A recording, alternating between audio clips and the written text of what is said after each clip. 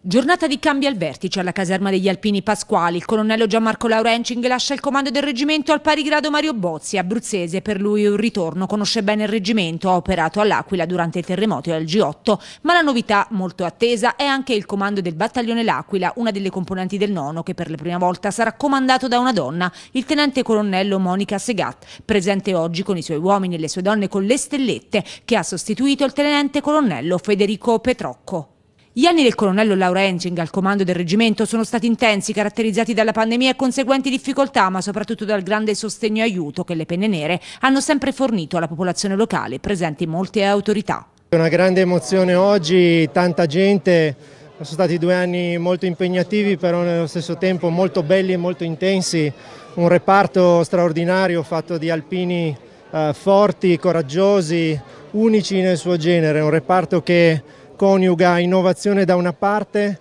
e memoria e storia per le tradizioni dall'altra, forte e tosto come la terra in cui vive. Per Laurenzig sarà importantissimo però per i non alpini continuare ad addestrarsi sul territorio, questo l'ha sottolineato più volte nel suo discorso. Noi dobbiamo addestrarci, questo è connaturato in noi, dobbiamo continuare a fare addestramento per essere sempre pronti ad assolvere a tutte le nostre missioni in sicurezza. Il momento clou della cerimonia è stato il passaggio della bandiera di guerra, una delle più decorate delle truppe alpine, dalle mani di Laurenzing al colonnello Mario Bozzi. Sono onoratissimo di essere ritornato all'Aquila da abruzzese, di tradizione abruzzese della provincia di Chieti, quindi ho fatto qui buona parte della mia carriera operativa, diciamo, alternando i carichi operativi con quelli di Stato Maggiore e sono veramente onorato, un bellissimo reggimento, ci sono tante attività per il futuro come ha detto il comandante della brigata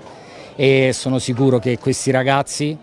che una buona parte sono tutti abruzzesi o comunque che si sono stabiliti in Abruzzo e sono diventati abruzzesi a tutti gli effetti,